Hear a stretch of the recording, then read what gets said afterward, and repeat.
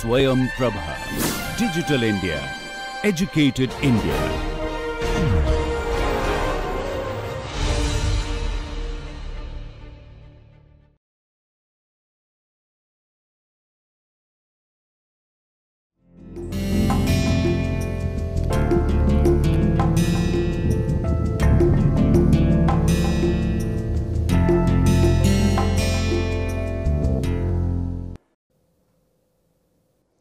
सभी लोगों को नमस्कार।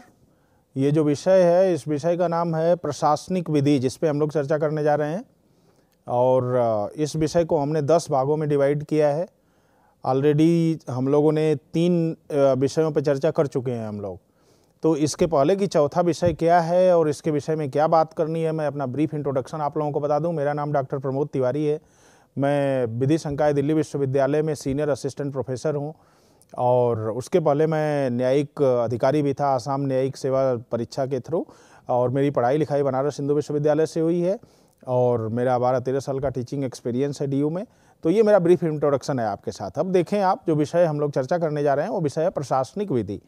तो प्रशासनिक विधि के बारे में जो पहला मॉड्यूल था, उसी में मैंने आपको बता दिया था कि प्रशासनिक विधि क्या होती है। तो इसमें हम लोगों ने देखा था, प्रशासनिक विधि यह है, जो प्रशासन के जिम्मेदारियों को, प्रशासन के शक्तियों को, उनको कार्यों को, उनके ऊपर नियंत्रण को और उनके पद के दुरुपयोग के कारण लोगों के अधिकारों के हनन के उपचारों की बात करती है। तो ये हम लोगों ने पहले लेक्चर में देख लिया था। हम लोगों ने उसका उद्भव और विकास भी देखा था। इंग्लैंड में इसका विकास कैसे हुआ, अमेरिका में विकास कैसे हुआ, भारत में विकास कैसे हुआ, प्राचीन भारत से लेकर आधुनिक भारत तक। तो इसका एक जर्नी हम लोगों ने देखा था। इसके बाद हम लोगों ने जो दूसरा मॉड्यूल था, उसमें हम लोगों ने विधि के शासन की चर्चा किया था कि देश में विधि का शासन होना चाहिए, व्यक्ति का शासन नहीं होना चाहिए। तो विधि के शासन का तात्पर्य यह है कि एनआरकी नहीं होनी चाहिए। कानून के हिसाब से देश चलना चाहिए, किसी व्यक्ति के हिसाब से देश नहीं चलना चाहिए। तीसरा जो मॉड्यूल था, इसमें हम लोगों ने देखा था, शक्ति पृथककरण का सिद्धांत क्या है सेपरेशन ऑफ़ पावर क्या है। किसी एक व्यक्ति के अंदर सारी शक्तियाँ समाहित नहीं होनी चाहिए, शक्तियों का सेपरेशन होना चाहिए। एग्जीक्यूटिव अपना काम करेगा, लेजिस्लेचर अपना काम करेगा जुडिशरी अपना काम करेगी। तो तीसरे लेक्चर में हम लोगों ने इस बात को देखा था। अब ये जो चौथा पॉइंट है, ये है, आप स्क्रीन पे देख सकते हैं, चौथा जो पॉइंट है, वो है प्रत्यायोजित विधायन। प्रत्यायोजित विधायन का सिद्धांत, इसको बोलते हैं principle of delegated legislation. Principle of principle of delegated legislation. Principle of delegated legislation, ध्यान दीजिए। अब इस विषय में मैं आऊँ, इसके पहले मैं थोड़ा सा आपको बता दूँ, ये विषय है क्या? प्रिंसिपल ऑफ़ डेलीगेटेड लेजिस्लेशन का क्या मतलब? डेलीगेटेड लेजिस्लेशन का मतलब कि लेजिस्लेशन तो मेनली काम किसका है? लेजिस्लेचर का है। विधायिका का काम है कानून बनाना। तो जो भी लेजिस्लेशन की हम बात करते हैं, विधायन की बात करते हैं तो ये विधायन केवल और केवल विधायिका का काम है। लेकिन विधायिका चूँकि सारा विधायन नहीं कर सकती, सारा कानून नहीं बना सकती, क्योंकि कानून के दो मुख्य पॉइंट होते हैं। एक होता है प्रिंसिपल लेजिस्लेशन, दूसरे होते हैं सबॉर्डिनेट लेजिस्लेशन। प्रिंसिपल लेजिस्लेशन तो विधायिका बना सकती है, कोई बात नहीं है, लेकिन जो सबॉर्डिनेट लेजिस्लेशन है, वो विधायिका नहीं बना पाती। तो उसके लिए वो डेलीगेट कर देती है अपने पावर को। डेलीगेट का मतलब प्रत्यायोजित कर देना, दूसरे को समर्पित कर देना। और ये कहना कि भाई, हमारे पास बहुत काम है और मेन जो सब मेन जो कानून है वो हमने बना दिया, जो सबॉर्डिनेट है वो आप बना दो। तो प्रत्यायोजित कर देते हैं दूसरे को। तो इसीलिए हम इसको बोलते हैं प्रत्यायोजित विधायन। क्योंकि इस विधायन को किसने बनाया है? इसको लेजिस्लेचर ने नहीं बनाया है। लेजिस्लेचर के डायरेक्शन में, उसके निर्देश पे इसको दूसरे लोगों ने बनाया है। मेनली कौन बनाया है? कार्यपालिका। क्योंकि जुडिशरी तो कानून बनाएगी नहीं, ना तो जुडिशरी को प्रत्यायोजित किया जा सकता है। जुडिशरी तो इंडिपेंडेंट ऑर्गन है। तो कुल मिलाकर के लेजिस्लेचर इसको किसको दे देती है? एग्जीक्यूटिव को दे देती है। तो एग्जीक्यूटिव इस पर कानून बनाता है। तो एग्जीक्यूटिव के द्वारा कानून बनाना, जो किसके द्वारा उसको दिया गया है लेजिस्लेचर के द्वारा दिया गया है, ऐसे कानून को हम बोलते हैं प्रत्यायोजित विधायन डेलीगेटेड लेजिस्लेशन तो ये प्रिंसिपल ऑफ़ डेलीगेटेड लेजिस्लेशन अब इसमें कई बातें हैं जिसको हम लोग देखेंगे। एक एक स्लाइड के माध्यम से मैं आपको बताऊँगा। सबसे पहले हम लोग इसके अर्थ, प्रकृति और महत्व को समझेंगे। इसके बाद हम लोग देखेंगे कि हमारे संविधान में इसमें क्या व्यवस्था है, इसमें कंट्रोल कैसे करेंगे। आखिर लेजिस्लेचर न कानून बना करके अगर इसको एग्जीक्यूटिव को देगा तो एग्जीक्यूटिव निरंकुश न हो जाए आर्बिट्रेरी एक्शन न करने लगे तो उसमें अगर करेगा तो क्या नियंत्रण उसके ऊपर किया जा सकता है? उस सारी बातों को हम लोग इस एक घंटे के अंदर देखेंगे। तो सबसे पहले आप पहले स्लाइड पर आइए। देखिए, पहले स्लाइड में क्या है? पहला स्लाइड कहता है अर्थ, प्रकृति और विशेषताएँ। इसका अर्थ क्या है? तो अगर आप देखेंगे तो इसके अर्थ को विभिन्न विद्वानों ने अपने अपने भाषा में परिभाषित किया है कि प्रत्यायोजित विधान का अर्थ और प्रकृति क्या है और इसकी विशेषताएँ क्या हैं। विभिन्न विभिन्न विद्वानों ने किया हुआ है। तो इसमें अगर एक मैं बताऊँ आपको, जैन एंड जैन, जो इंडियन राइटर हैं, जैन एंड जैन, इन्होंने बताया हुआ है कि प्रत्यायोजित विधान क्या है। तो जैन एंड जैन इसको कैसे बताते हैं?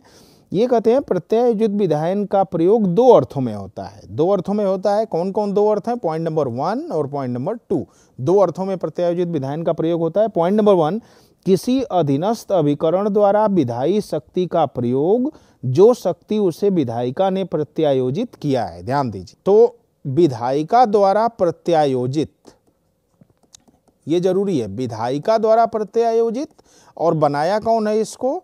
अधीनस्थ शक्ति बनाई है। अधीनस्थ शक्ति के द्वारा बनाया गया है। ध्यान दीजिए, अधीनस्थ शक्ति। तो विधायिका ने प्रयोजित कर दिया है अधीनस्थ शक्ति को, और अधीनस्थ शक्ति उस पर कानून बनाती है तो इसको हम बोलते हैं डेलीगेटेड लेजिस्लेशन और दूसरा इसका जो एलिमेंट है, वह है ऐसे सब्सिडियरी नियम जो कि अधीनस्थ अभिकरण द्वारा विधायिका द्वारा प्रदान की गई शक्ति के अनुसरण में बनाए गए हैं। विधायिका ने इनको ज़रूर प्रत्यायोजित कर दिया बनाने के लिए अधीनस्थ शक्ति को, लेकिन यह इसके अनुसरण में बनाए जाएँगे। ध्यान दीजिए। अनुसरण में बनाए जाएँगे। माने जैसे जैसे विधायिका कहेगी वैसे वैसे इनको करना है। ऐसा नहीं है कि हमने आपको बता दिया कि पॉइंट नंबर ए पे आपको कानून बनाना है। तो पॉइंट नंबर ए पे जैसे मन करेगा वैसे कानून बना देंगे। तब ये प्रत्यायोजित विधायन नहीं है। हम पॉइंट नंबर ए पे कानून बनाना है, ये तो हमने बता ही दिया। आगे जब आप बनाओगे तो उसको हम कंट्रोल और नियंत्रण में रखेंगे। हमारे निर्देश के अनुसार बनता रहेगा। क्योंकि कानून बनाना आपका काम नहीं है। हमने आपको दे दिया है इसलिए कि हमारे पास बहुत ज़्यादा काम था और आप हमारे सबॉर्डिनेट आर्गन है तो मैंने आपको दे दिया था बनाने के लिए। लेकिन वो हमारे नियंत्रण और अनुसरण में काम करना चाहिए आपको। हमारे सुपरविजन में आपको काम करना है। तो ये दो बातें होनी चाहिए। पहले तो अधीनस्थ शक्ति के द्वारा कानून बनाना दूसरा, वो अधीनस्थ शक्ति का कानून जो है, वो विधायिका के द्वारा, प्रदत्त शक्ति के द्वारा किया जाना और तीसरा, विधायिका के अनुसरण में कानून को बनाया जाना। ये तीनों चीज़ अगर एक साथ चलेगी तो हम इसको बोलेंगे और इससे जो विधायन निकलेगा तो इसको हम बोलेंगे प्रत्यायोजित विधायन। तो ये बताते हैं, जैन एंड जैन, इनकी डेफिनेशन है। अब दूसरे स्कॉलर की मैं बात करूँ, दूसरे स्कॉलर हैं इसमें। एक इंग्लैंड में कमेटी बनाई गई थी, जिसको हम डोनोक कमेटी के नाम से जानते हैं। तो दोनों कमेटी ने प्रत्यायोजित विधान का अर्थ बताया है। दोनों कमेटी ने प्रत्यायोजित विधान का अर्थ दो पॉइंट में बताया है, पॉइंट नंबर वन और पॉइंट नंबर टू। इन्होंने क्या बनाया बताया है देखिए, मैं बस आपको रेफर करके और कुछ कैचवर्ड इसमें लिखूँगा। विधायिका द्वारा प्रत्यायोजित शक्ति के अनुसरण में कार्यपालिका द्वारा विधि निर्माण करने की शक्ति का प्रयोग।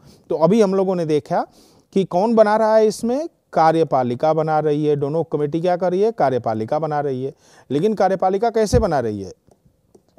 विधायिका विधायिका के शक्ति के साथ, विधायिका के शक्ति के साथ और इसके अनुसरण में। विधायिका ने अपनी शक्ति इनको प्रदान कर दी है कार्यपालिका को और कुछ गाइडलाइंस भी दे दिए हैं। इसकी शक्ति का प्रयोग कार्यपालिका कर रहा है और इनके गाइडलाइंस को फॉलो करते हुए कानून बना रहा है। तो ये पहला पॉइंट होना चाहिए। दूसरा पॉइंट क्या है? नियम, विनियम, उपविधि इत्यादि जो कि कार्यपालिका ने विधायिका द्वारा प्रत्यायोजित शक्ति के प्रयोग में बनाए गए हैं। अब ये जो बनाएँगे, इसमें क्या होगा? इसमें विनियम होगा, उपनियम होगा, नियम होगा रेगुलेशन होगा एटसेट्रा ऑर्डिनेंस होगा, ये सारी चीज़ें होंगी। तो दोनों कमेटी कहती है कि विधायिका द्वारा प्रदत्त शक्ति को और विधायिका के अनुसरण में कार्यपालिका द्वारा बनाए गए कानून को प्रत्यायोजित विधायन बोलते हैं, और ये जो कार्यपालिका बनाएगी, ये क्या बनाएगी? ये मेन लेजिस्लेशन नहीं बनाएगी, ध्यान दीजिए। पेरेंट लेजिस्लेशन नहीं बनाएगी। ये जो लेजिस्लेशन बनाएगी, उसको हम उप नियम कहेंगे, उसको हम बी नियम कहेंगे, जिसको rule regulation by laws ordinance ये सब हम बोलते हैं। तो ये सारे ये बनाएँगे। तो दोनों कमेटी इस बात की बात करती है। तो ये दूसरे थे दोनों कमेटी। अब इसके बाद सामंड को अगर आप देखेंगे, तीसरा जो स्कॉलर है इसमें, ये है सामंड तो सामंड ने क्या बताया? सामंड कहता है कि देखिए, कानून दो तरीके के होते हैं। एक है सुप्रीम लेजिस्लेशन और दूसरा है subordinate legislation. Supreme and subordinate legislation, subordinate. Supreme and subordinate legislation. तो जो सुप्रीम लेजिस्लेशन है, ये कौन बनाता है? सुप्रीम लेजिस्लेशन हमेशा का हमेशा लेजिस्लेचर बनाता है। और सबॉर्डिनेट लेजिस्लेशन भी लेजिस्लेचर को बनाना चाहिए, लेकिन अगर नहीं बनाता है तो इसको एग्जीक्यूटिव बना सकती है। इसको एग्जीक्यूटिव बना सकती है with direction of legislature and in the guidelines of legislature तो लेजिस्लेचर का जैसा गाइडलाइंस होगा, उस तरीके से सबॉर्डिनेट लेजिस्लेशन बना सकती है। लेकिन जो सुप्रीम लेजिस्लेशन है, वो हमेशा का हमेशा कौन बनाएगा? वो विधायिका बनाएगी। ये सामंत साहब बोलते हैं। तो ये तीन स्कॉलर थे इसमें, जिन्होंने इसके अर्थ और प्रकृति को बताने का प्रयास किया है। जैन और जैन है इसमें सामंड है और दोनों कमेटी है। अब इसके बाद आप आगे वाले स्लाइड पे देखें थोड़ा सा। प्रत्यायोजित विधायन के कई प्रकार भी हैं। प्रत्यायोजित विधायन के कई प्रकार हैं, जिसमें कार्यपालिकीय विधान है और सशस्त्र विधान है। ये दो इसके विधान हैं, जैसे एग्जीक्यूटिव लेजिस्लेशन और कंडीशनल और कंटिजेंट लेजिस्लेशन इसको बोलते हैं। तो प्रत्यायोजित विधायन और कार्यपालिकीय विधायन में क्या फ़र्क है? ध्यान दीजिए, ये जो executive legislation executive legislation executive legislation और सशस्त्र को बोलते हैं हम conditional legislation conditional conditional legislation ध्यान दीजिए। तो एग्जीक्यूटिव लेजिस्लेशन क्या है? प्रत्यायोजित विधायन हम लोगों ने देख लिया डेलीगेटेड लेजिस्लेशन हम लोगों ने देख लिया कि कार्यपालिका बनाई है लेकिन किसके कहने पे बनाई है? विधायिका के कहने पे बनाई है और विधायिका के अनुसरण में बनाई है और विधायिका द्वारा प्रदत्त शक्ति का प्रयोग करी है क्योंकि इसको कानून बनाने की कोई शक्ति नहीं है। तो इसको तो हम प्रत्यायोजित विधायन बोलते हैं। एग्जीक्यूटिव विधायन ये है जो प्रत्यायोजित नहीं किया जाता है इसको, ध्यान दीजिए। एग्जीक्यूटिव जो है, खुद कानून बनाने का पावर रखती है कहीं कहीं। जैसे संविधान में आप देखेंगे तो संविधान द्वारा प्रदत्त जो पावर है एग्जीक्यूटिव को, संविधान प्रदत्त पावर, संविधान प्रदत्त शक्ति जो कार्यपालिका के पास है, जैसे ऑर्डिनेंस प्रोमोलिगेशन का पावर ऑर्डिनेंस प्रोमोलिगेशन ऑर्डिनेंस बनाने का राष्ट्रपति राष्ट्रपति और राज्यपाल की शक्ति। राज्यपाल की शक्ति। अगर आप इसको देखेंगे तो ये आर्टिकल 123 और आर्टिकल 213 में भारत के संविधान में आपको दिखेगा। ये एग्जीक्यूटिव लेजिस्लेशन है, जिसमें लिखा गया है कि कब और किस दशा में राज्यपाल खुद ऑर्डिनेंस प्रोमोलगेट कर सकता है, कब और किस दशा में भारत का राष्ट्रपति खुद ऑर्डिनेंस प्रोमोलगेट कर सकता है। उसमें उसको विधायिका से कोई चीज़ मिलने की ज़रूरत नहीं है, कोई चीज़ ट्रांसफ़र होने की ज़रूरत नहीं है। आप अगर 113 वन टू थ्री की बात करें 123 की बात करें, आर्टिकल 123 तो उसमें प्रेसिडेंट के पास पावर है कि प्रेसिडेंट में प्रोमोलगेट ऑर्डिनेंसेस कब प्रेसिडेंट ऑर्डिनेंस प्रोमोलगेट करेगा? अगर आप भारत के संविधान पर एक निगाह डालें तो उसमें लिखा हुआ है कि किसी के द्वारा प्रत्यायोजित करने की ज़रूरत नहीं है। जब संसद सत्र में नहीं होगी, ये लिखा हुआ है, जब रिसर्स होगा पार्लियामेंट का, कोई भी सत्र नहीं चल रहा है तो उस समय क्या हो सकता है? उस समय प्रेसिडेंट प्रोमुलगेट कर सकते हैं ऑर्डिनेंस लेकिन कब? वो भी ऐसा नहीं है कि जब जब सत्र में नहीं होगी, तब तक ऑर्डिनेंस प्रोमुलगेट कर देगा। नहीं, सत्र में नहीं होगी और दूसरी बात, इमीडिएट एक्शन लेना ज़रूरी होगा। दो बातें हैं। कि parliament is not in session point number one and immediate action is required to be taken अगर ये दोनों कंडीशन एक साथ सेटिस्फाई हो जाती हैं तो president of India ordinance promulgate कर सकता है। और जब प्रेसिडेंट ऑर्डिनेंस प्रोमुलगेट करेगा, किस विषय पे करेगा?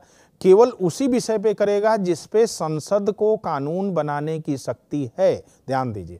मान लीजिए वह विषय है जिसपे संसद को कानून बनाने की शक्ति ही नहीं है। अब कौन ऐसा विषय है जिसपे संसद को कानून बनाने की शक्ति है?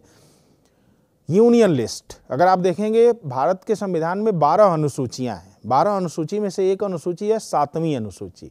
सातवीं अनुसूची में तीन लिस्ट हैं। एक को हम बोलते हैं यूनियन लिस्ट दूसरे को बोलते हैं स्टेट लिस्ट और तीसरे को बोलते हैं कॉन्करेंट लिस्ट तो जो यूनियन लिस्ट में सब्जेक्ट मैटर है यूनियन लिस्ट में कुल 97 सब्जेक्ट मैटर है. उस 97 सब्जेक्ट मैटर में कौन कानून बना सकता है? केवल यूनियन कानून बना सकती है. तो जब प्रेसिडेंट ऑर्डिनेंस प्रोमोलिगेट करेंगे तो ये केवल और केवल किसमें करेंगे? यूनियन लिस्ट में कर सकते हैं पॉइंट नंबर वन दूसरा, ये कॉन्करेंट लिस्ट में भी कर सकते हैं, जिसपे दोनों विधायी का कानून बना लेती है. तीसरी लिस्ट है सेवन शेड्यूल की उस पर भी बना सकते उस पर भी ऑर्डिनेंस प्रोमोलिगेट कर सकते हैं.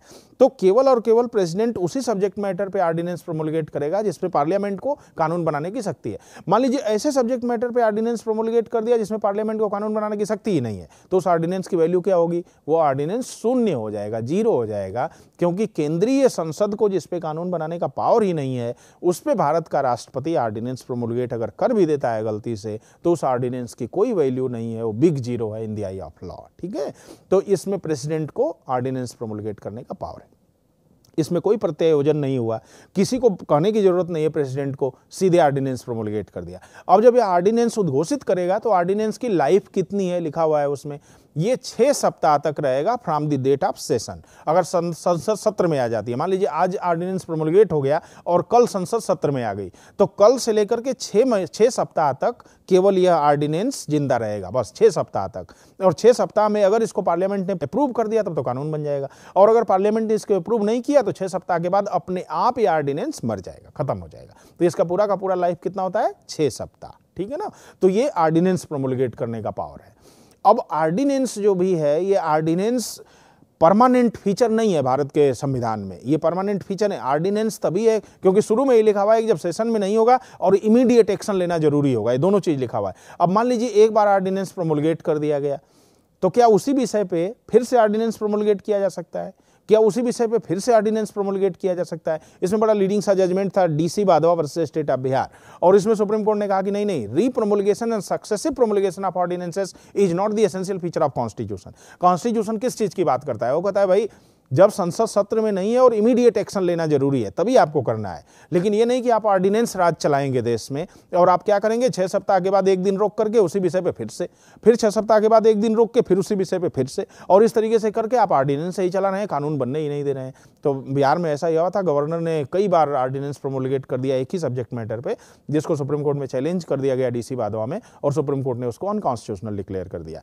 तो ये कहने का मतलब मैं जो बताने का प्रयास कर रहा हूँ, ये मैं कर रहा हूँ कि प्रत्यायोजित विधायन और एग्जीक्यूटिव विधायन, इन दोनों में क्या फ़र्क है? डेलीगेटेड लेजिस्लेशन और एग्जीक्यूटिव लेजिस्लेशन इन दोनों में क्या फ़र्क है? तो इन दोनों में फ़र्क यह है डेलीगेटेड लेजिस्लेशन तभी बनेगा जब विधायिका ने कार्यपालिका को डेलीगेट किया है। लेकिन एग्जीक्यूटिव लेजिस्लेशन ये कोई डेलीगेशन की ज़रूरत नहीं है, ये एग्जीक्यूटिव स्वतः बनाती है, क्योंकि उसको कॉन्स्टिट्यूशन में खुद पावर दिया गया है, जैसे एग्ज़ाम्पल के तौर पर ordinance making power by the president and governor तो ये पहला था हमारे पास कार्यपालिकीय विधान, जिसको हम एग्जीक्यूटिव लेजिस्लेशन बोलते हैं। दूसरा हमारे पास है सशर्त विधान।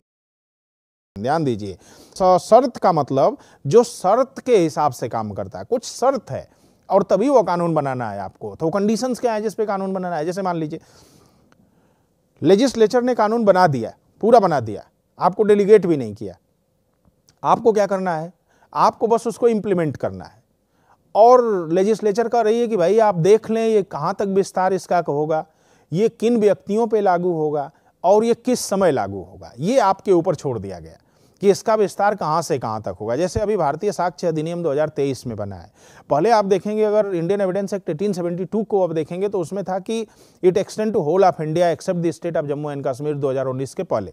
2019 के बाद आ गया it extend to whole of India और अब जो 2023 का लेजिस्लेशन आया, उसमें एक्सटेंशन को हटा दिया। उसमें नहीं लिखा हुआ it extend to which territory which part of the territory of India नहीं लिखा हुआ है। इसका मतलब इसका एक्सटेंशन तो पूरे देश में है।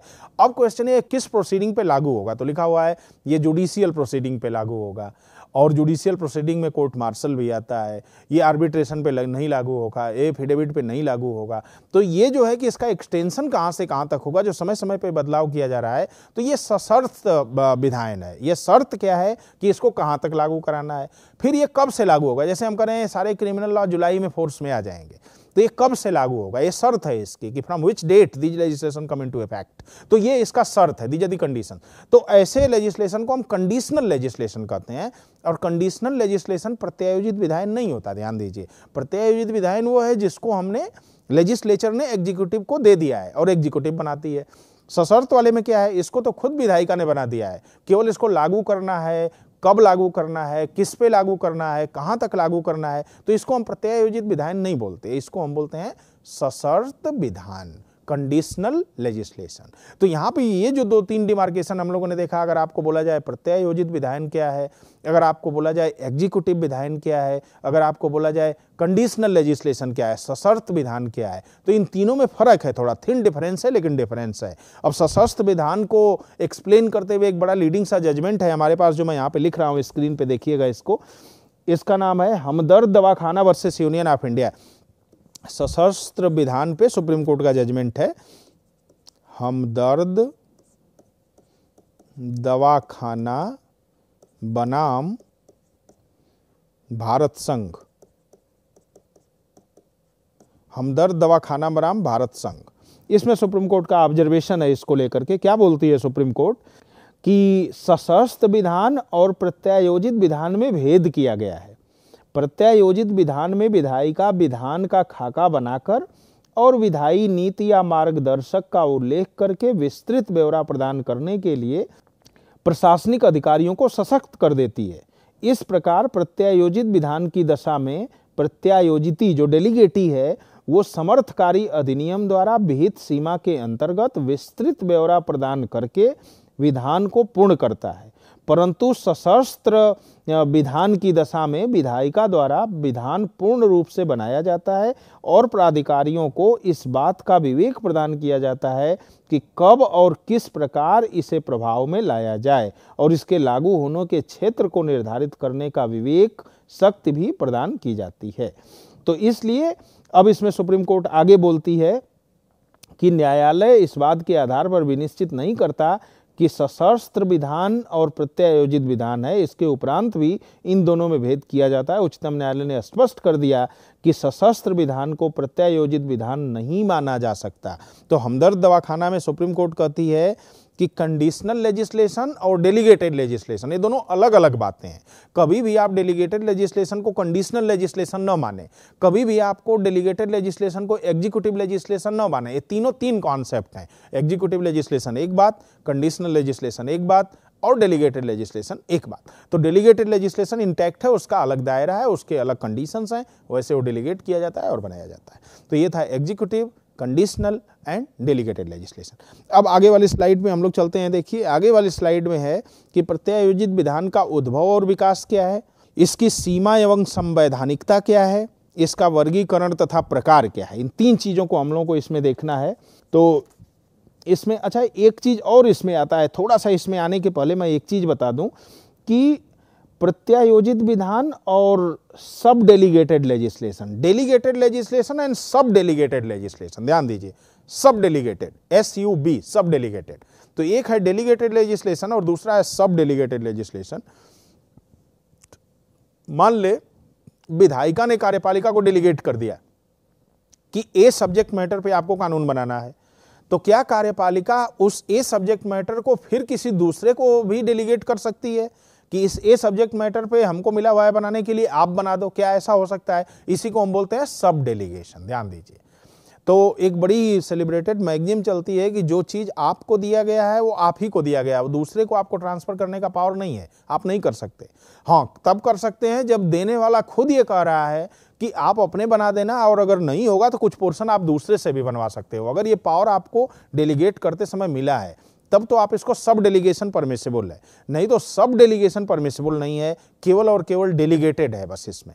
लेकिन सब डेलीगेशन परमिसेबल तभी है जब विधायिका ने खुद इस शर्त के साथ आपको दिया है कि आपको बनाना है और आप इसको सब डेलीगेट कर सकते हो तो इसको बहुत ध्यान से देखने की ज़रूरत है कि सब डेलीगेशन कब होगा और सब डेलीगेशन कब नहीं होगा। अगर विधायिका ने परमिट किया है, सब डेलीगेशन होगा, नहीं परमिट किया है, सब डेलीगेशन नहीं होगा। तो इसको बोलते हैं डेलीगेटेड और सब डेलीगेटेड लेजिस्लेशन, इसको भी एक देखना था। अब आइए इस पॉइंट पे। प्रत्यायोजित विधान का उद्भव और विकास, सीमा एवं संवैधानिकता, वर्गीकरण तथा प्रकार, इन तीन चीज़ों को हम लोग यहाँ पे देखेंगे। अब इसमें ध्यान दीजिए, प्रत्यायोजित विधान का उद्भव एवं विकास। सबसे पहले हम इसको इंग्लैंड, अमेरिका वगैरह शुरू करेंगे, फिर भारत में हम आएँगे। तो सबसे पहले हम इंग्लैंड की बात करते हैं, उद्भव और विकास के मामले में। इंग्लैंड में देखिए क्या था, यूनाइटेड किंगडम में क्या था इसमें बातें? यूनाइटेड किंगडम में जो था, इंग्लैंड में प्रायोजित विधान का प्रचलन पंद्रहवीं शताब्दी में ही था। माने वहाँ पे बहुत पुराना ये प्रचलन था यूनाइटेड किंगडम में, प्रत्यायोजित विधान का, पंद्रहवीं शताब्दी में ही था। पंद्रह में उद्घोषणा की संविधि का अधिनियम करके संसद ने विधि निर्माण की शक्ति ब्रिटिश सम्राट हेनरी थर्ड को प्रत्यायोजित कर दी थी। ध्यान दीजिए। तो पंद्रह वो पहला साल था जिसमें ब्रिटिश संसद ने कानून बनाने का अपना पावर डेलीगेट कर दिया था हेनरी थर्ड को। जो हेनरी थर्ड क्या था? वो एग्जीक्यूटिव ऑफिसर था। तो पंद्रह में ही वहाँ पे ये चीज़ था मतलब पंद्रहवीं शताब्दी में ही डेलीगेटेड लेजिस्लेशन ब्रिटेन में शुरू हो गया था। और जब आगे बढ़ेंगे, मैंने हम लोगों ने देखा ईयर पंद्रह जिसमें हेनरी थर्ड को डेलीगेशन किया था किसने? ब्रिटिश संसद ने। तो ये पहला इंस्टेंस उनके यहाँ है। दूसरा इंस्टेंस अगर आप देखेंगे तो इस संविधि का निरसन पंद्रह में कर दिया गया। इसी का जो हेनरी थर्ड को दिया गया था, ये पंद्रह में आठ साल के बाद इसको निरसित कर दिया गया था। और वर्ष 1931 में सीवर संधि, सीवर संविधि रादर सीवर संविधि के द्वारा विधि निर्माण की शक्ति का प्रत्यायोजन सीवर्स के कमिश्नरों को कर दिया गया। इंस्टीट्यूट ऑफ़ सीवर्स बोलते हैं इसको। तो ये हुआ था आपका 1531 में। तो 1531 में फिर ये शुरू हुआ था, इसको निश्चित तो हो गया बाद में ये 1531 में ही सीवर्स इंस्टीट्यूट बनाया गया था, जो किसको दिया गया था? कमिश्नरों को दे दिया गया था। इसके बाद जब आप आएँगे, आगे 1834 में भी इंस्टेंस आपको मिलता है ब्रिटेन में। 1834 में पुअर लॉ एक्ट बना था वहाँ पे। पुअर लॉ एक्ट और ये जो पुअर लॉ एक्ट था, इसको बनाने का कार्यभार किसको दे दिया गया था? इसको भी कमिश्नर्स को दिया गया था, जो एग्जीक्यूटिव अथॉरिटी थे। फिर आप देखेंगे 19वीं शताब्दी में अगर आप आएँगे तो उन्नीस में फिर आपको दिखेगा कि लॉर्ड चीफ जस्टिस हिबर्ट जो थे हेबर्ट जुरुस्पुडेंस बड़ा ही फ़ेमस है और इनकी बुक का नाम है न्यू डिपोटिज्म। तो हेबर्ट ने अपने जुरुस्पुडेंस के न्यू डिपोटिज्म में जब ये सारे इंस्टेंस इन्होंने देखा कि पंद्रहवीं शताब्दी में भी डेलीगेशन हुआ, सोलहवीं में भी हुआ, अठारहवीं में भी हुआ तो उन्नीसवीं शताब्दी में आकर के हेबर्ट साहब अपने जुरुस्पुडेंस के न्यू डिपोटिज्म में लिखते हैं कि अगर इस तरीके से कानून बनाने की शक्ति इंग्लैंड में एग्जीक्यूटिव को बार बार दी जाने लगी तो निरंकुशवाद का जन्म हो जाएगा। क्योंकि लेजिस्लेचर अगर कानून बनाता है तो लेजिस्लेचर में कौन बैठा हुआ है? जनता बैठी हुई है। जैसे मान लीजिए आप भारत के परिप्रेक्ष्य में इसकी बात करें, लेजिस्लेचर में हमारे चुने हुए नेताजी लोग बैठे हुए हैं हमारे बीच से निकल के जाते हैं, हर पाँच साल पर हमारे पास आते हैं। लेकिन अगर कानून बनाने का पावर आप ब्यूरोक्रेट्स को दे देंगे, डीएम को दे देंगे, एसडीएम को दे देंगे तो ये ब्यूरोक्रेट्स आपके दरवाजे पर कभी नहीं आते हैं और इनका आपसे कोई रीत प्रीत नहीं है और आपसे कोई काम भी नहीं है। तो ये आपके आपके खिलाफ भी कानून बना सकते हैं, जो आपके अधिकारों का हनन भी हो सकता है। इसीलिए हिबर्ट ने अपने न्यू डिपोटिज्म में इस चीज़ को लेकर के बड़ा चिंतित थे। वो कहते हैं कि भाई, इंग्लैंड में एक नई प्रथा शुरू हो गई, जिसमें ये क्या कर रहे हैं, ये डेलीगेट करके एग्जीक्यूटिव अथॉरिटीज को दे रहे हैं। अगर एग्जीक्यूटिव में सारी चली, चीज़ें चली जाएँगी तो निरंकुशवाद शुरू हो जाएगा और सारा का सारा कानून जो है एग्जीक्यूटिव बनाने लगेगा तो जनता के अधिकारों का क्या होगा। तो इन्होंने अपने न्यू डिपोटिज्म में इसको सतर्क किया था इंग्लैंड में। इसके बाद आप देखेंगे तो लेसेस फेरे का कॉन्सेप्ट आया वहाँ पे तो इस तरीके से आप देखेंगे, आगे भी ईयर में कई इसमें डेवलपमेंट है, मैं बहुत डिटेल में नहीं जा रहा हूँ, क्योंकि आगे भी बहुत हेडिंग है हमारे पास। तो इंग्लैंड में इस तरीके से प्रचलन इसका शुरू हुआ और इसका क्रिटिसिज्म भी हुआ हिबर्ट के द्वारा अपने न्यू डिपोटिज्म में। अब यूनाइटेड स्टेट्स में थोड़ा सा देखते हैं, उद्भव और विकास। यूएसए में देखिए आप। यूएसए में क्या हुआ? यूएसए में एक कॉन्सेप्ट चलता है, जिसका नाम है डेलीगेटस नॉन प्रोटेस्ट डेलीगारे डेलीगेटस नॉन प्रोटेस्ट डेलीगारे। इसका मतलब है, एक प्रत्यायोजिति अपने शक्तियों का पुनः प्रत्यायोजन नहीं कर सकता। ध्यान दीजिए। माने, एक जो प्रत्यायोजिति है जिसको डेलीगेट, डेलीगेटी जो है वो अपने पावर को फिर से डेलीगेट नहीं कर सकता। तो डेलीगेटस नॉन प्रोटेस्ट डेलीगारे, जो कॉन्सेप्ट था अमेरिका का वो डेलीगेटेड लेजिस्लेशन को बहुत ज़्यादा तवज्जो नहीं दिया वहाँ पे और वहाँ पे डेलीगेटेड लेजिस्लेशन का कम कॉन्सेप्ट हमको मिलता है। क्योंकि वो अगर एक बार डेलीगेशन सबॉर्डिनेट लेजिस्लेशन का भी हो भी गया तो बस एक ही बार हुआ, ऐसा नहीं कि उसका सब डेलीगेशन करके और बार बार एग्जीक्यूटिव के हाथ में चला गया तो अमेरिका में इसका कम एग्ज़ाम्पल मिलता है। अब थोड़ा सा आप आगे बढ़ें और भारत में इस स्थिति को देखें। तो भारत में आप देखेंगे तो एक बहुत पुराना जजमेंट है इंडिया में, अगर आप देखें तो हमारे पास फेडरल कोर्ट का एक जजमेंट है और उसका नाम है Jatindra Nath Gupta versus province of Bihar. ये जो है, उन्नीस का जजमेंट है फेडरल कोर्ट का before the commencement of supreme court of India. जब फेडरल कोर्ट हमारे पास थी, संघीय न्यायालय थी, उस समय का ये जजमेंट है Jatindra Nath Gupta versus province of Bihar के मामले में। फेडरल कोर्ट के निर्णय ने विधायी शक्ति के प्रत्यायोजन के विषय में संदेह उत्पन्न कर दिया था। और इन्होंने ये कहा था कि भारत में प्रत्यायोजित विधान सशस्त्र विधान के रूप में विधिमान्य रहा है। तो मैंने जो फेडरल कोर्ट का जजमेंट था, अभी हम लोगों ने थोड़ी देर पहले देखा, प्रत्यायोजित विधान अलग है कंडीशनल सशस्त्र विधान अलग है और एग्जीक्यूटिव लेजिस्लेशन अलग है। लेकिन जब फेडरल कोर्ट का ये जो गुप्ता जी वाला जजमेंट आया था, इसमें फेडरल कोर्ट ने कहा था कि नहीं, प्रत्यायोजित विधान और कंडीशनल लेजिस्लेशन दोनों एक ही हैं। इन दोनों में कोई ज़्यादा फ़र्क नहीं है। तो बड़ा कन्फ्यूज़न हो गया था। इसके बाद एक नया जजमेंट आया था जो सुप्रीम कोर्ट ने डिसाइड किया था, उसको बोलते हैं री डेल्ही लॉज एक्ट इन री डेल्ही लॉज एक्ट अगर आप इसको देखेंगे तो ये इसका ईयर है इन री डेल्ही लॉज एक्ट का। 1950 1950 just after commencement of the supreme court of India AIR के उन्नीस सौ इक्यावन के एआईआर के ये पेज नंबर 332 पे प्रकाशित भी है in re Delhi laws act इसमें सुप्रीम कोर्ट ने थोड़ा क्लियर किया कि नहीं, ये दोनों अलग अलग हैं, सशस्त्र विधान और ये विधान, दोनों अलग अलग हैं। नहीं तो फेडरल कोर्ट के डिसीज़न में थोड़ा सा इसमें कन्फ्यूज़न क्रिएट कर दिया था। अब प्रत्यायोजित विधान के वृद्धि के कारण क्या है? अगर आप इसके उद्भव और विकास की जब हम बात करते हैं तो हमको ये देखना है कि ये क्यों क्यों डेवलप होता है? क्यों ये डेवलपमेंट हो रहा है इसका? तो इसके डेवलपमेंट के कई कारण हैं। जैसे पहला है हमारे पास आधुनिक कल्याणकारी राज्य का उद्भव होना। अब जो आधुनिक कल्याणकारी राज्य है, जैसे वेलफेयर स्टेट है इंडिया जब वेलफेयर स्टेट है तो बहुत वेलफेयर एक्टिविटी भी करनी है। वेलफेयर एक्टिविटी में बहुत ज़्यादा कानून rule regulation notification custom usage की ज़रूरत पड़ेगी। तो इसलिए इसको बनाने की ज़रूरत भी पड़ेगी। अब विधायिका सारा काम कैसे कर सकती है? सबॉर्डिनेट लेजिस्लेशन भी बनाए रूल भी बनाए रेगुलेशन भी बनाए डिपार्टमेंटल रूल भी बनाए, नहीं बन सकता। इसलिए वो निश्चित रूप से एग्जीक्यूटिव को डेलीगेट करेगी। तो जो कल्याणकारी राज्य का उद्भव हुआ, ये सबसे पहला कारण है प्रत्यायोजित विधान के विकास का।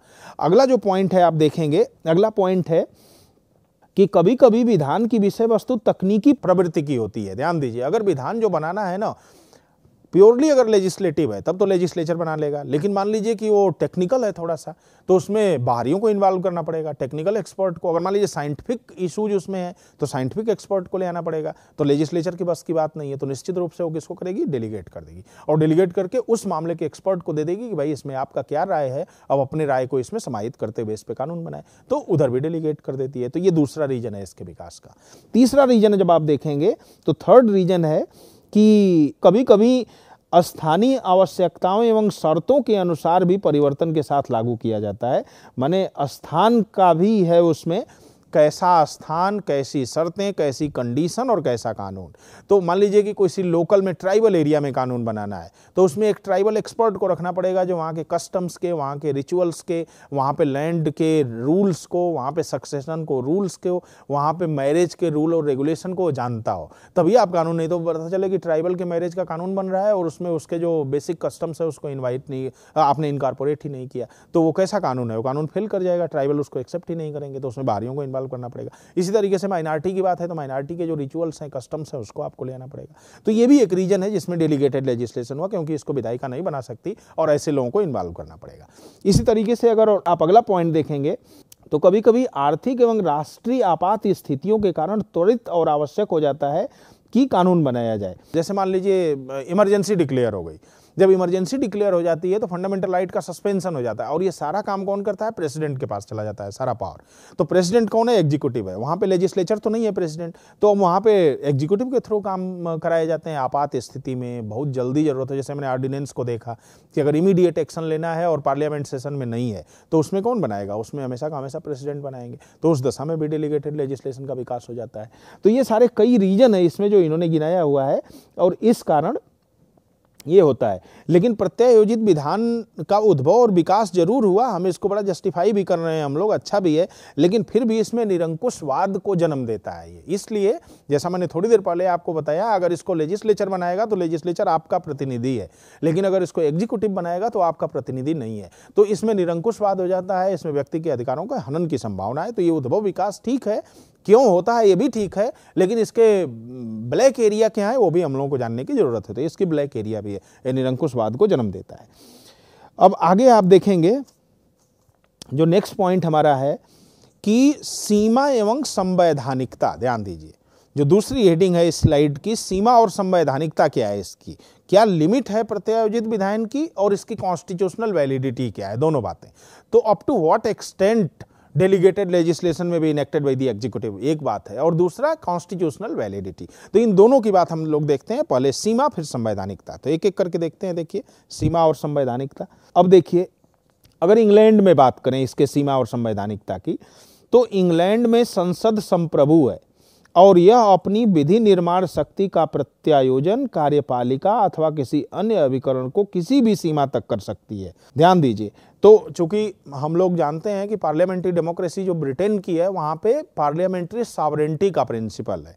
माने पार्लियामेंट सावरेन है, पार्लियामेंट संप्रभु है।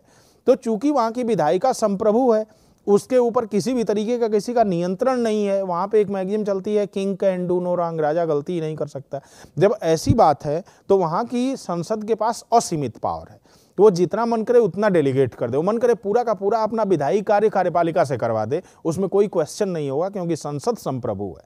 लेकिन भारत जैसे देश में संभव नहीं है क्योंकि हमारे यहाँ संसद संप्रभु नहीं है। हमारे यहाँ संप्रभुता किसके अंदर है? जनता के अंदर निहित है। We the people of India तो इसलिए हमारे यहाँ संभव नहीं। लेकिन इंग्लैंड में इसकी सीमा की अगर आप बात करेंगे तो इसकी सीमा अनलिमिटेड है। कितना भी डेलीगेशन हो सकता है। अब अमेरिका में थोड़ा सा आइए, अमेरिका में इसकी सीमा कितनी है, कितना डेलीगेशन हो सकता है? तो देखिए, अमेरिका में एक मैगजिम चलती है, मैं थोड़ी देर पहले आपको बताया था डेलीगेटस नॉन प्रोटेस्ट डेलीगरे इसका मतलब सब डेलीगेशन नहीं होगा। आपको एक बार डेलीगेट कर दिया गया सबॉर्डिनेट लेजिस्लेशन आप ही बनाएँगे, बस। और इसके बाद यहीं से वापस चला जाएगा विधायिका के पास। ऐसा नहीं है आप इसको तीसरे और तीसरे चौथे को भेजेगा, ऐसा नहीं होगा। तो अमेरिका में ये बात है कि आपको सब डेलीगेशन नहीं करना है पॉइंट नंबर वन और दूसरा एसेंशियल लेजिस्लेटिव पावर नहीं डेलीगेट करना है। क्योंकि एसेंशियल लेजिस्लेटिव पावर हमेशा का हमेशा कौन परफॉर्म करेगा? वो लेजिस्लेचर करेगा। हाँ जो सबॉर्डिनेट लेजिस्लेटिव पावर है, जिसमें रूल्स हैं बाई लॉज हैं रेगुलेशन है, इसको आप बनवा सकते हैं, नहीं तो दूसरा आपको नहीं बनाना है, ठीक है ना? तो ये बात है। अब अमेरिका में ये बात है। अब भारत में आप आइए, थोड़ा सा इंडिया में देखा जाए, हमारे यहाँ क्या है? भारत में आप देखेंगे तो भारत में कई केसेस हैं इसमें। जिसमें हमारे यहाँ डेलीगेशन को परमिट किया गया था। अगर आप स्वतंत्रता के पहले देखें फेडरल कोर्ट के जजमेंट को तो उसमें सशस्त्र विधायन और प्रत्यायोजित विधायन को एक ही करके देखा गया। लेकिन फिर भी प्रत्यायोजित विधायन का दायरा था और उसको फेडरल कोर्ट ने एक्सेप्ट किया था। स्वतंत्रता के बाद री डेलही लाज एक्ट में देखेंगे, जो कि उन्नीस सौ इक्यावन का जजमेंट था सुप्रीम कोर्ट का इन री डेलही लाज एक्ट उसमें भी सुप्रीम कोर्ट ने परमिट किया था कि नहीं प्रत्यायोजित विधायन इज़ परमिसेबल लेकिन कितने एक्सटेंट तक होगा, इसकी भी एक सीमा थी। सीमा ये थी अगेन कि एसेंशियल लेजिस्लेटिव पावर का डेलीगेशन नहीं होगा। एसेंशियल लेजिस्लेटिव पावर किसके पास होगा? विधायिका के पास। और जो सबॉर्डिनेट लेजिस्लेटिव पावर है, उसका डेलीगेशन हो सकता है। और तमाम ऐसे इंस्टेंस आपको मिलेंगे भारत में, जिसमें एसेंशियल लेजिस्लेटिव पावर के आधार पर इसको खारिज भी किया गया है कि आपने एसेंशियल लेजिस्लेटिव पावर कैसे डेलीगेट कर दिया। तो भारत में भी इसकी सीमा है। इंग्लैंड में सीमा नहीं है, अमेरिका और भारत में इसकी सीमा है essential legislative power cannot be delegated तो ये तो सीमा की बात आ गई। अब थोड़ा संवैधानिकता पे आते हैं। इसकी संवैधानिकता क्या है? देखिए, जब आप इसके संवैधानिकता पे आएँगे तो संवैधानिकता को दो श्रेणियों में बांटा जा सकता है। एक है प्रत्यक्ष असंवैधानिकता और दूसरा है अप्रत्यक्ष असंवैधानिकता।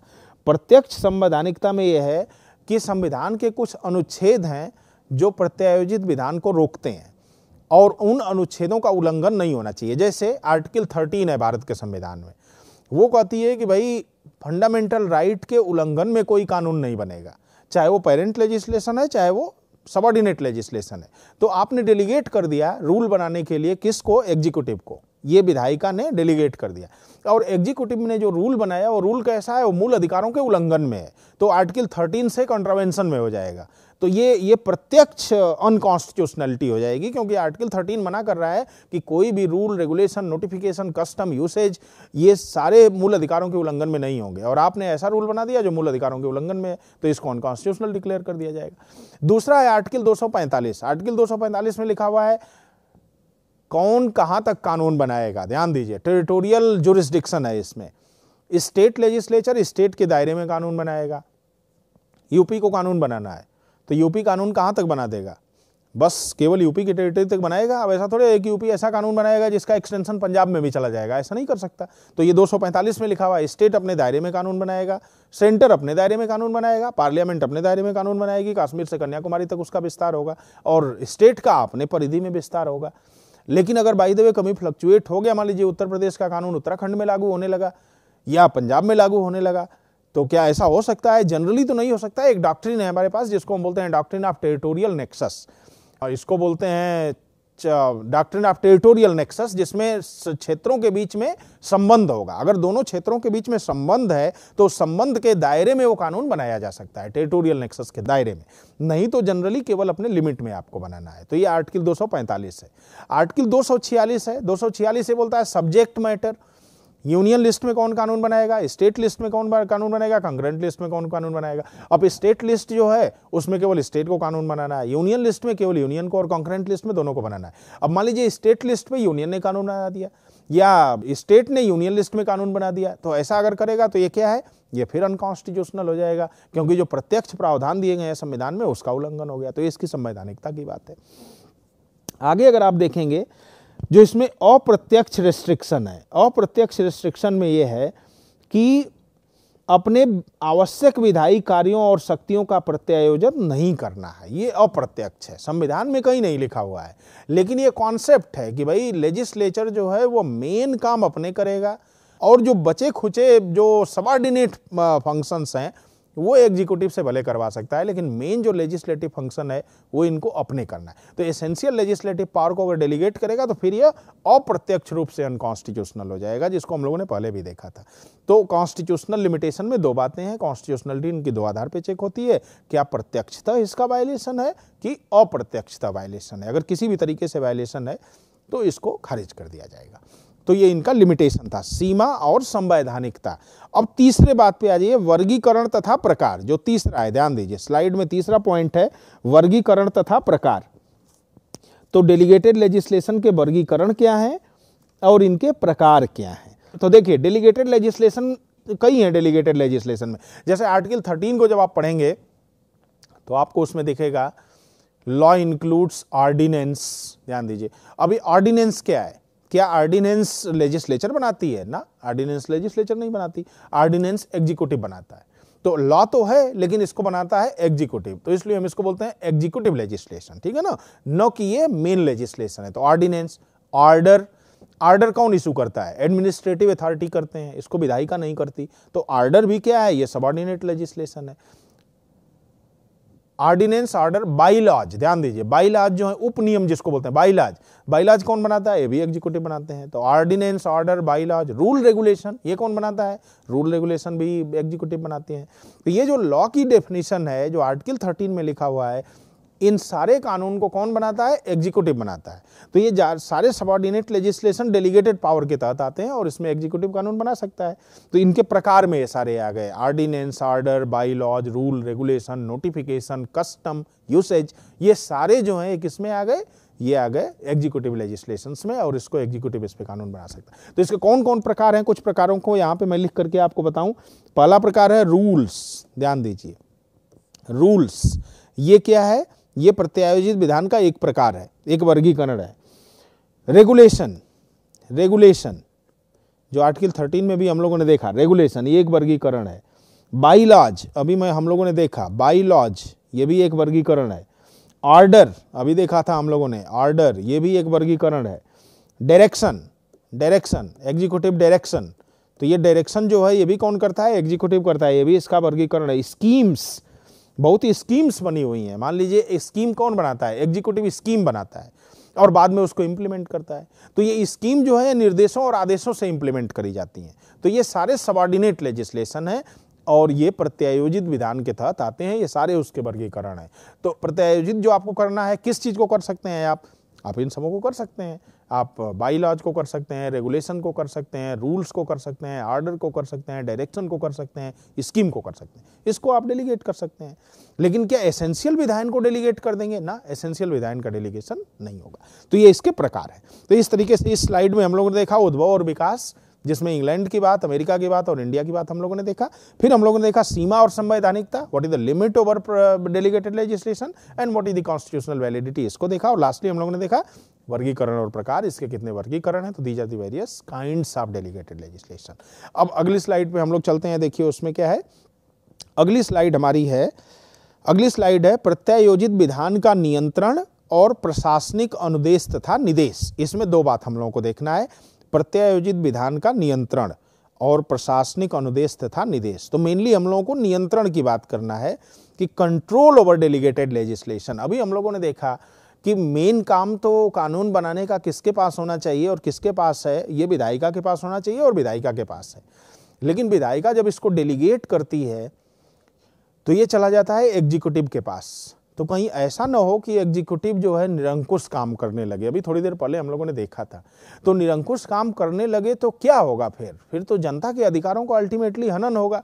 तो इसलिए इस पर कंट्रोल बहुत ज़रूरी है। डेलीगेशन खराब नहीं है।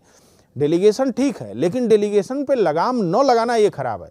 तो लगाम लगाने के लिए क्या करेंगे? आपको कंट्रोल करना पड़ेगा। तो कंट्रोल करने के लिए कैसे कंट्रोल करेंगे? इसी कंट्रोल को हम लोग देखने जा रहे हैं। ध्यान दीजिए। तो कंट्रोल के लिए मैं स्क्रीन पे, मैं इसको कुछ कुछ पॉइंट से बताऊँगा आपको। कंट्रोल ओवर डेलीगेटेड लेजिस्लेशन कैसे कंट्रोल करेंगे इसको देखिए। एक है इसमें विधायी नियंत्रण। विधायी नियंत्रण। एक तो विधायी नियंत्रण इसमें काम करता है, ध्यान दीजिए।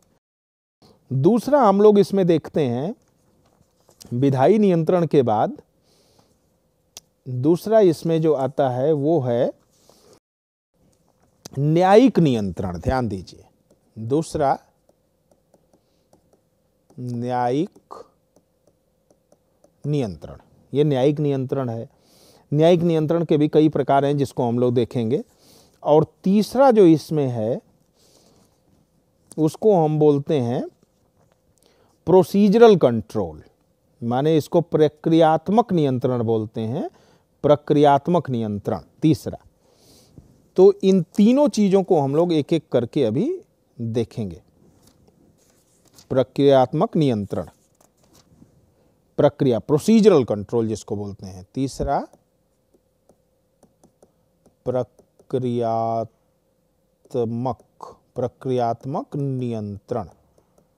ध्यान दीजिए, विधायी नियंत्रण क्या है? सबसे पहले विधायी नियंत्रण की बात करते हैं। विधायी नियंत्रण में यह है कि विधायिका ने आपको डेलीगेट कर दिया कि इस सब्जेक्ट मैटर पे आपको कानून बनाना है। तो दे दिया, आप कानून बनाइए। अब रोज रोज तो नहीं देख सकती आपको, आप क्या कर रहे हो? आज कितने सेक्शन पे काम किया, कल कितने सेक्शन पे काम किया, हर शब्द में कहाँ कामा लगाया, कहाँ नहीं लगाया, इसका क्या अर्थ है? अब रोज रोज और हर मिनट में अगर सुपरविजन करना होगा तो खुद बना लेगी।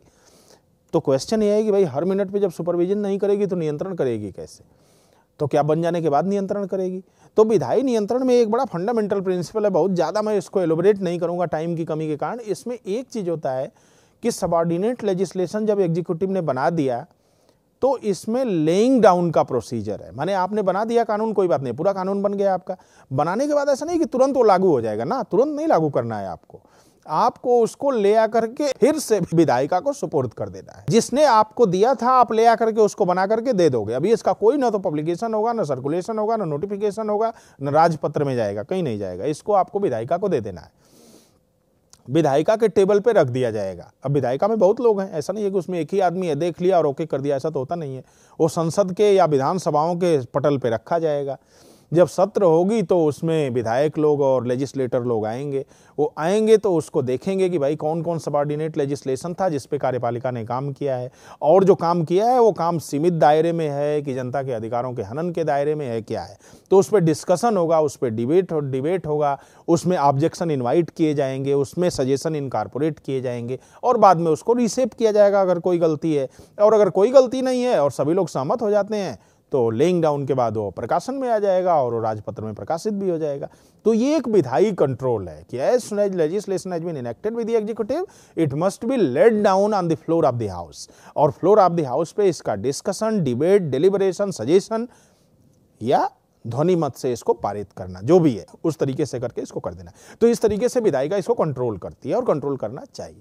हालाँकि हमारे पास कोई ऐसा कानून नहीं है, भारत के परिप्रेक्ष्य में अगर हम बात करें हमारे यहाँ कोई ऐसा कानून नहीं है जो लेजिस्लेटिव कंट्रोल की बात करती है भारत में, कहीं नहीं है। और न ही लेइंग डाउन का कोई प्रोसीजर है हमारे पास। जब इंग्लैंड, अमेरिका में देखेंगे लेइंग डाउन का प्रोसीजर है। डेलीगेटेड लेजिस्लेशन जब आता है तो ये संसद के पटल पर रखा जाता है, उस पर एलोबरेट डिस्कशन होता है। इसके बाद इंप्लीमेंट किया जाता है।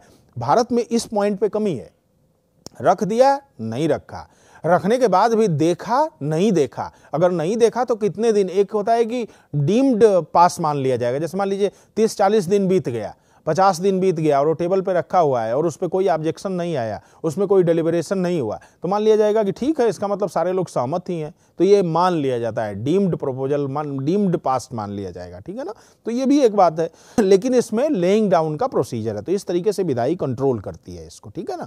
तो इसको हम बोलते हैं विधायी नियंत्रण, और दूसरा जो हम लोगों ने देखा है न्यायिक नियंत्रण न्यायिक नियंत्रण पे आप आइए, न्यायिक नियंत्रण में क्या किया जाता है? कि इसमें अधिकारातीत के सिद्धांत की बात होती है। अधिकारातीत के सिद्धांत की बात होती है कि डॉक्ट्रिन ऑफ़ अल्ट्रा वायरस इसको बोलते हैं। Doctrine of ultra vires doctrine of ultra vires क्या है? मैं इसको बताऊँ आपको। डॉक्ट्रिन ऑफ़ अल्ट्रा वायरस ये कहता है कि ये जो कानून आपने बनाया है, जो एग्जीक्यूटिव ने बनाया है, क्या यह अधिकारातीत है? अधिकार से परे है? अब अधिकार से परे का क्या मतलब?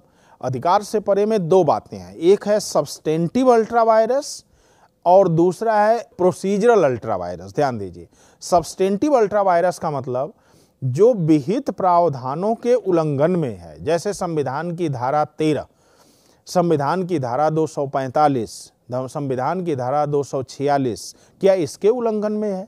जो कानून बनाया ना एग्जीक्यूटिव ने, क्या वो फंडामेंटल राइट के वायलेशन में है? क्या वो टेरिटोरियल जुरिस्डिक्शन के लिमिट को क्रॉस कर दिया है? क्या वो सब्जेक्ट मैटर में जो विहित शक्तियाँ हैं, उसको क्रॉस कर दिया है? क्या इस तरीके का है? अगर इस तरीके का है तो सब्सटेंशियली ये अल्ट्रा वायरस है और इसको डिक्लेयर कर दिया जाएगा अनकॉन्स्टिट्यूशनल मान लीजिए उसमें प्रोसीजरल अल्ट्रा वायरस है, जैसे मान लीजिए रूल रेगुलेशन तो बना दिया, लेकिन उसमें उचित सुनवाई का अवसर नहीं है। उसमें नेमो जुडेक्स इन काजा सुआ के नेचुरल जस्टिस के प्रिंसिपल का फॉलोअप नहीं हुआ है। उसमें आर्बिट्रेरी एक्शन दिख रहा है। उसमें रीजनेबल डिस्क्रिशन नहीं दिख रहा है, उसमें जस्टनेस और फेयरनेस नहीं दिख रहा है, ये सारे प्रोसीजरल दायरे में आ जाते हैं। तो अगर ऐसा नहीं दिख रहा है तो उसमें या तो इसको इनकारपोरेट करना है, या इसको अल्ट्रा वायरस करके अनकॉन्स्टिट्यूशनल डिक्लेयर कर देना है। तो इसको हम बोलते हैं न्यायिक नियंत्रण। तो न्याय, न्यायिक नियंत्रण या तो सब्सटेंटिव अल्ट्रा वायरस पे काम करती है, जिसमें express article of the constitution should be looked into या तो इसको प्रोसीजरल दायरे में काम करती है, जिसमें justness fairness reasonableness due procedure natural justice वगैरह वगैरह जितने भी सिद्धांत हैं जो फंडामेंटल प्रिंसिपल हैं कानून के, उस सब के उल्लंघन में नहीं होना चाहिए, ठीक है ना? तो इन दोनों के आधार पर इसको देखा जाता है। आगे जब आप बढ़ेंगे तो ये भी देखा जाता है इसमें कि क्या जो पेरेंट लेजिस्लेशन है, उसके कॉन्ट्राडिक्शन में तो नहीं है। जैसे मान लीजिए राइट टू इंफॉर्मेशन एक्ट बन गया और राइट टू इंफॉर्मेशन एक्ट का सबॉर्डिनेट रूल्स बनाना है। तो एक्ट तो पार्लियामेंट ने बना दिया। अब उसमें सबॉर्डिनेट रूल बनाना है एग्जीक्यूटिव को दे दिया कहा कि भाई इसमें जो रूल्स हैं, जो सूट करता है रूल्स कितने का पोस्टल ऑर्डर लगेगा, ये कैसे जाएगा, कितने दिन में जाएगा, जो प्रोसीजर है सिंपल सिंपल प्रोसीजर इसके लिए रूल्स आप बना दीजिए। अब जब रूल्स बनेगा तो पेरेंट लेजिस्लेशन के कॉन्ट्राडिक्शन में नहीं होगा। जैसे आरटीआई में कुछ लिखा हुआ है तो रूल्स में वही चीज़ लिखा होगा जो उस सेक्शंस में लिखा होगा, उसके साथ चल सके। ऐसा ना उसके साथ ये चल ही नहीं रहा है, उसके कॉन्ट्राडिक्शन में खड़ा हो गया। ऐसा नहीं बनाना है, ठीक है ना? तो पेरेंट लेजिस्लेशन के कॉन्ट्राडिक्शन में नहीं होना चाहिए, ये भी ध्यान रखना है। तो इस तरीके से इसको नियंत्रित किया जाता है। आगे अगर आप देखेंगे तो इसमें कुछ ऐसे प्रावधान है जिसमें, जैसे अभी हम लोगों ने देखा कि स्पष्ट जो कानून है ना स्पष्ट जो संवैधानिक प्रावधान है ना, उनका वायलेशन नहीं होना चाहिए। जैसे मान लीजिए यूनियन लिस्ट में स्टेट कानून नहीं बनाएगा स्टेट लिस्ट में यूनियन कानून नहीं बनाएगा, लेकिन संविधान में कहीं कहीं लिखा हुआ है जिसमें स्टेट लिस्ट में यूनियन कानून बना देगा। जैसे मान लीजिए, हमारे पास है आर्टिकल दो सौ उनचास, हमारे पास है आर्टिकल 250 हमारे पास है आर्टिकल दो सौ बावन, हमारे पास है आर्टिकल दो सौ तिरपन। अगर इन समूह को आप देखेंगे तो इसमें लिखा हुआ है जब इमरजेंसी प्रोक्लेम्ड हो गई हो तो स्टेट लिस्ट में यूनियन कानून बना देगा। जब दो या दो से अधिक राज्य खुद सहमत हो गए हैं और सिफारिश करते हैं कि नहीं बना दीजिए तो उसमें भी बनाया जा सकता है। जब राज्यसभा ने रिजोल्यूशन पास कर दिया है टू थर्ड मेजॉरिटी से, फिर भी सब्जेक्ट लिस्ट जो स्टेट का सब्जेक्ट लिस्ट है, उसमें यूनियन कानून बना सकता है। तो वो परमिसिबल है कॉन्स्टिट्यूशन के द्वारा। तो हमेशा ऐसा नहीं है कि स्टेट लिस्ट में अगर यूनियन कानून बना देगा तो अनकॉन्स्टिट्यूशनली हो जाएगा। ऐसा नहीं होगा। बहुत ऐसे कॉन्स्टिट्यूशनली परमिसिबल आर्टिकल्स हैं, अगर उसके दायरे में यूनियन कानून बनाता है स्टेट लिस्ट में भी तो वो चलेगा, उसमें कोई दिक्कत नहीं है। तो इस तरीके से जो हम लोग को ये देखना है कि क्या एक्सप्रेसली या इम्प्लाइडली अल्ट्रा वायरस है? क्या सब्सटेंशियली अल्ट्रा वायरस है? क्या प्रोसीजरली अल्ट्रा वायरस है? और अगर इस तरीके से है तो ये न्यायिक नियंत्रण है और न्यायिक नियंत्रण को इस तरीके से रोका जाता है और न्यायिक नियंत्रण इसमें काम करता है डेलीगेटेड एक और बात आप इसमें देखिए, जो तीसरी बात है हमारे पास, प्रक्रियात्मक वाला। प्रक्रियात्मक को देख लीजिए, और ये है प्रक्रियात्मक नियंत्रण procedural control procedural control over delegated legislation procedural control में जब आप जाएँगे तो आप देखेंगे कि प्रक्रियात्मक अधिकारातीत का सिद्धांत है इसमें, ठीक है ना? और इसमें यह है कि जब किसी प्रत्यायोजित विधान या अधीनस्थ विधान को प्रत्यायोजिति द्वारा समर्थकारी अथवा मूल अधिनियम द्वारा निर्धारित अपेक्षाओं का अनुपालन किए बिना बनाया जाता है तो इसे अधिकारातीत अल्ट्रावायरस कहा जाता है। समर्थकारी अथवा मूल अधिनियम द्वारा निर्धारित प्रक्रिया का अनुपालन न किए जाने से प्रत्यायोजित विधान अविधिमान्य हो सकता है।